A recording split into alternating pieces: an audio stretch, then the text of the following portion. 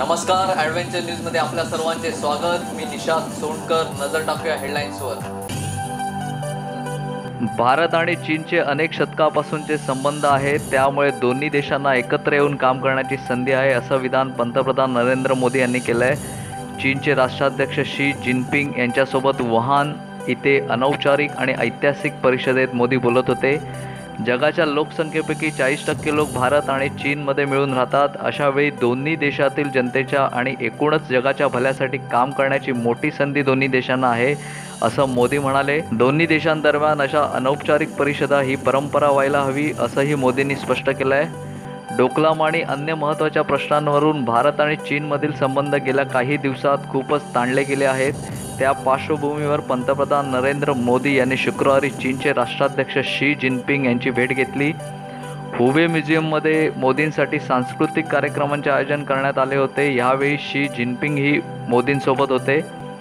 महात्मा गांधी यांच्या साबरमती आश्रमात दोन हजार चौदामध्ये पंतप्रधान नरेंद्र मोदी आणि शी जिनपिंग यांच्यात पहिली अनौपचारिक बैठक झाली होती. त्यानंतर ही दुसरी अनौपचारिक बैठक आहे. पंतप्रधान नरेंद्र मोदींची ही भेट घेतल्यानंतर जिनपिंग यांनी आनंद व्यक्त केला आहे. केंद्रीय लोकसेवा आयोगाच्या परीक्षेचा निकाल शुक्रवारी जाहीर झाला. यात सलग दुसऱ्या वर्षी उस्मानाबादचा झेंडा कायम राहिला असून दोन एकर शेतीवर चरितार्थ चालवणाऱ्या दिलीप बदोले यांचा मुलगा गिरीश बदोले यांनी यू पी एस सी परीक्षेत देशात विसावा तर राज्यात पहिला क्रमांक पटकावला आहे. उमरगा तालुक्यातील कसगी या छोट्याशा गावातून गिरीश बदोले यांनी संपादित केलेलं यश ग्रामीण तरुणांना प्रेरणा देणारे ठरत आहे. इयत्ता पहिली आणि दुसरी दोन वर्ष गावातच त्याने शिक्षण घेतलं. त्यानंतर निलंगा तालुक्यातील कासारशिर्शी येथे आजोळी राहून चौथीपर्यंतचं शिक्षण पूर्ण केलं. कसगी गावातून अशा पद्धतीचे उत्तुंग यश संपादन करणारा गिरीश हा पहिला तरुण आहे. विश्वांजली गायकवाड पाठोपाठ राज्यात आणि देशात उस्मानाबादच्या यशाचा झेंडा निर्विवाद सिद्ध करणाऱ्या गिरीश बदोले याने स्पर्धा परीक्षेसाठी तयारी करणाऱ्या विद्यार्थ्यांसाठी नवा पायंडा घालून दिला आहे.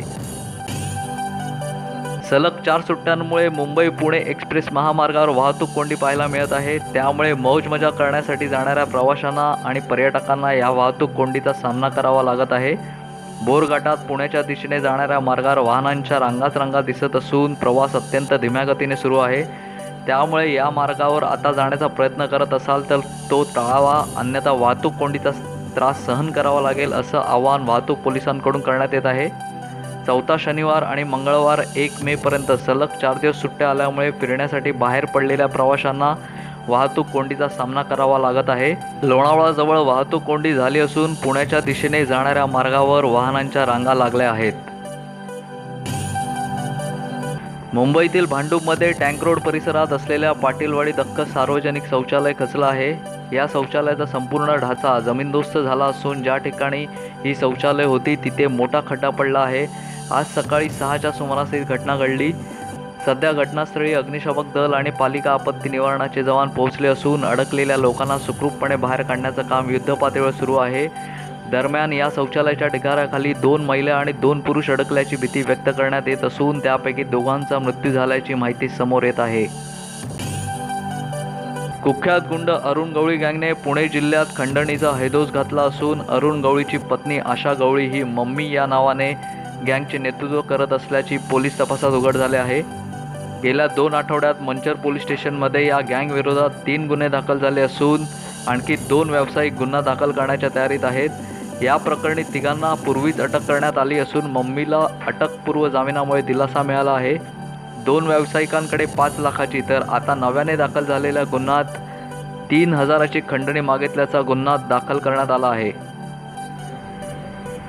तर आता वेळ झाली आहे इथेच थांबायची. ताज्या घडामोडींसाठी पाहत राहा ॲडव्हेंचर न्यूज कधीही कुठेही. आणि आमच्या चॅनलला सबस्क्राईब करा.